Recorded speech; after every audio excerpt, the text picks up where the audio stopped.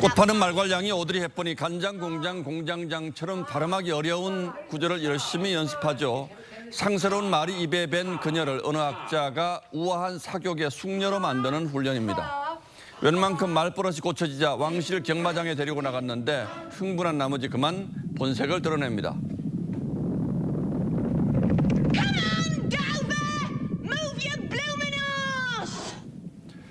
얼떨결에 서울시장에 출마한 황정민이 연설을 준비합니다. 사투리 조심하고.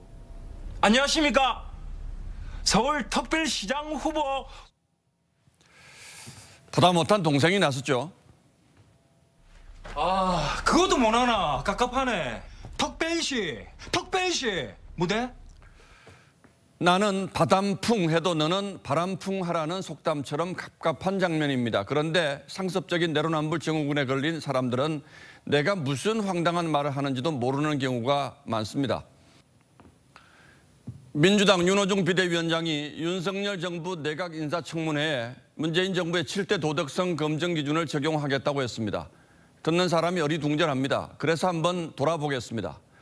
지난 5년 대통령이 야당 동의 없이 임명을 밀어붙인 장관급 인사가 34건에 이릅니다. 그 대부분이 7대 기준에 문제가 있었고요. 첫 내각부터 총리, 외교장관, 공정거래위원장이 위장전입, 국방장관이 음주운전 논란에 휘말렸습니다. 조국 법무장관은 또 어떻습니까? 임명을 강행했다가 나라가 두 쪽으로 결단 날 뻔했죠.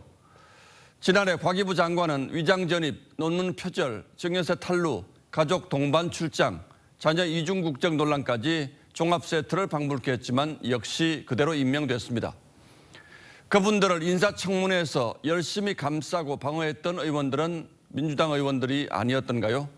도덕성 검증을 비공개로 하는 법안까지 냈던 건 또 어느 당이었습니까?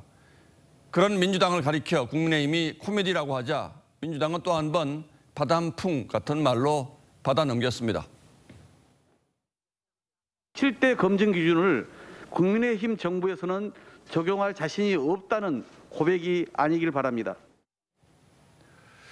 물론 7대 기준이든 8대 기준이든 장관들에게 일정 기준의 도덕성을 요구하는 건 어느 나라나 마찬가지입니다.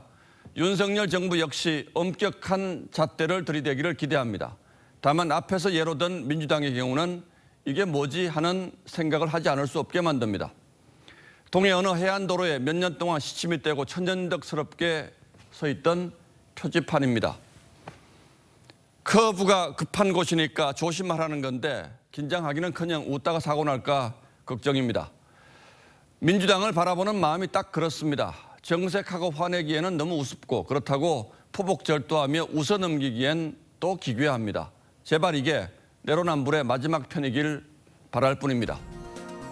4월 7일 앵커의 시선은 어이를 찾습니다. 였습니다.